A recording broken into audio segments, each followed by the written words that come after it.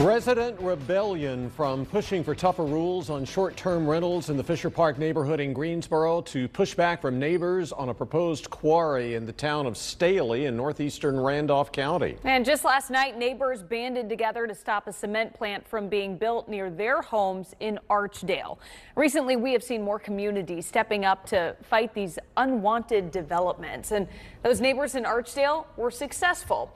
Last night, the Archdale City Council denied a rezoning application for Old Glenola Road that was part of a proposal to build a new concrete batch plant in the area. Good evening. Welcome to the Fox 8 5 o'clock news. I'm Katie Nordeen. And I'm Neill McNeill. Fox 8's Elijah Skipper spoke to the woman who was in charge of the grassroots efforts to fight the rezoning and what made it successful. Old Glenola Road is a mile and three tenths long. There are 29 homes on this road that people live in, families live in. Bryn Knox has lived on Old Glenola Road for over a decade. The quiet rural road has houses spread out and neighbors who keep to themselves.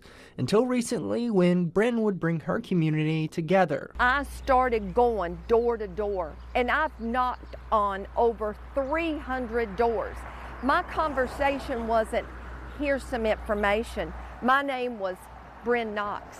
Are you aware that they have proposed a concrete batch plant on Old Glenola Road. Britton was one of the three people in Old Glenola Road to get a letter saying that her quiet country road could soon be rezoned from single family residential to heavy industrial, bringing a concrete ready mix plant to the area. She saw this as an opportunity to unite her neighbors to fight the potential change. Bryn uh, got in touch with me and told me about it, and her and I got to discussing what we could do. The neighborhood would soon come together with yard signs reading Stop Rezoning, Say No to Concrete Factory. A lot of our neighbors got to meet each other, didn't know each other, to stand up for what they wanted, and which was basically not to have that you know, on this road in this community. Neighbors would start studying, gathering information to support their case, and reaching out to local officials, uncertain if it would pay off. I mean, you can you can have all the facts in the world, but it's it's up to the powers to be whether or not they'll do what you consider right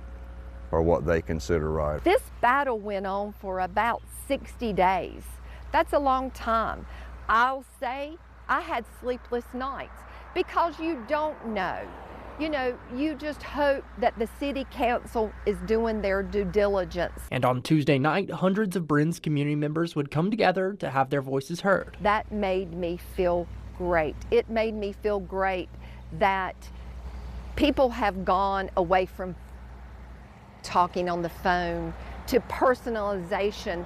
We came together last night. We came together passionately to fight against this. After hours of public comment, Archdale City Council denied the rezoning by a vote of 4 to 2. The concrete mix plant wouldn't be coming to Old Glenola Road, but Bryn says her community did gain something lifelong friendships. I hope to have a cookout at my home. I've had the opportunity and met people that I hope that I will continue this relationship and bond with.